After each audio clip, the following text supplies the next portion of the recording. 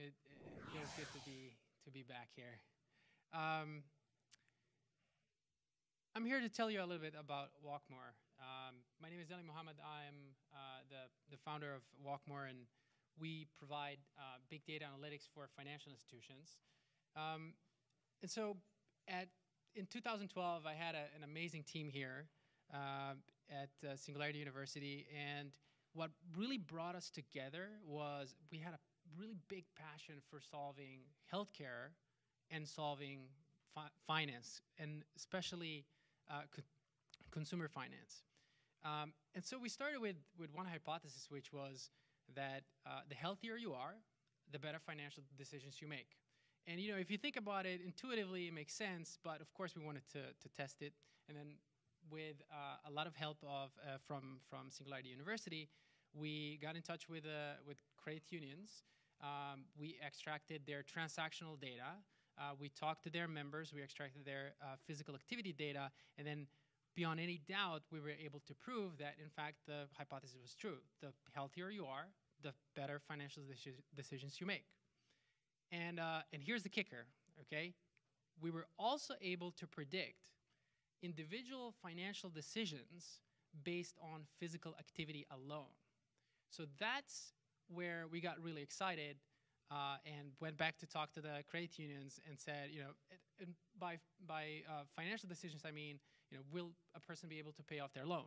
Will, will a person be able to, uh, you know, pay off a, a credit card? Um, what their financial behavior is going to be related to a, a specific financial product. Um, and so we went back to the, to the credit unions and said, you know, what, what do we do about it? And they got really excited, uh, and soon I'll tell you why. But first, let me give you a, a lay of the land, okay? So there's, there's 14,000 credit unions uh, in the States uh, and uh, uh, credit unions and community banks, and that is 97% of all financial institutions. It's 30% of the whole financial market. Okay, so it is a niche market, but it's it's really substantial. They're serving 200 million people, and believe it or not, only 3% of them use some kind of data analytics. That means that 97% of them do not know what their members and what their customers are doing. They do not, they don't make decisions, lending decisions, for example, based on actual real data. Um, and the, the 3% that are actually using, they're paying more than 100,000 a year. Uh, so that is not really what smaller credit unions or medium-sized credit unions and community banks can, can afford.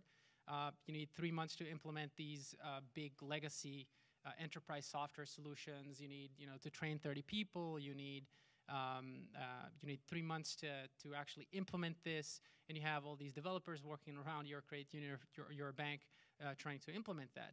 So we can definitely say that uh, big data analytics is perceived as way too expensive and resource consuming for most financial institutions. So what we did is we built a, Uh, uh, uh, a big data analytics platform based on the initial algorithms that we developed. So taking into consideration not only transactional data, but also health or physical activity data. And we made it super simple to, uh, I mean, it's, it's called the green box, okay? You, you actually get a green box in the mail, and it's a, it's a, in the green box, there's a, a green uh, flash drive, and you just stick it in a computer and it runs. You, you, you click on upload transactional data, you upload your transactional data, click run, and you get the results within 30 days. So um, it's, it's completely standalone. The training is five minutes. I do a demo and they get it. So, um, so what we really do, what, what that really does is we can do three things really, really well, and that is we uh, improve credit scoring really substantially. You all know that the FICO score is not good, not good at all. We improve on every single uh, credit score, uh, credit, basically credit score. Um, we also shift customers to more profitable clusters uh, by product through product recommendations. We just know which products are better for them that they can pay pay off, and that there's a win situation between the financial institution and and and the individual. And also, uh, which is a golden goose, we can predict uh, customers' individual financial decision making, uh, and that's again, you know, whether they, they're going to pay off their loan or what they are they're going to do uh, in a in a in an amount of time. Will they, you know, what their income is going to be, uh, and so on and so on. So let's jump to the, the results, okay?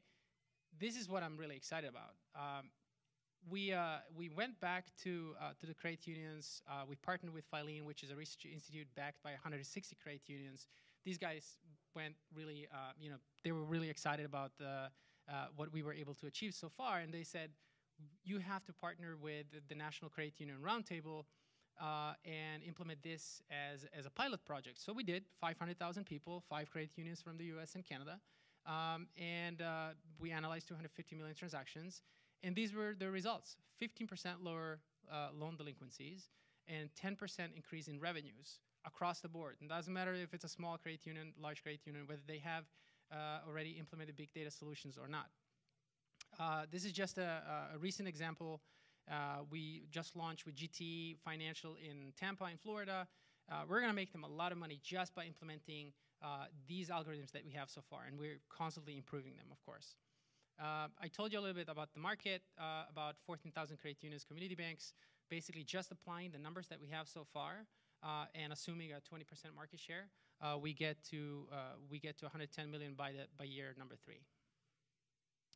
Um, the business model is going to evolve. We're not going to stay only in the financial sector, of course. It makes sense to move to insurers. Uh, you, you, heard from Lowe's and from Coke, for example, today. they're they're moving into other uh, areas as well. Uh, they're going to be moving into financials. Just wait and see. And, I think this is a, a, big giant that is just sleeping right now, uh, and is just get, get uh, is just uh, waking up. Um, we are mainly working through channel partners because it just it makes sense. Uh, it's much much faster. Um, we have all these channel part partners here. These are current clients and and previous clients. But also, I I love this number right here.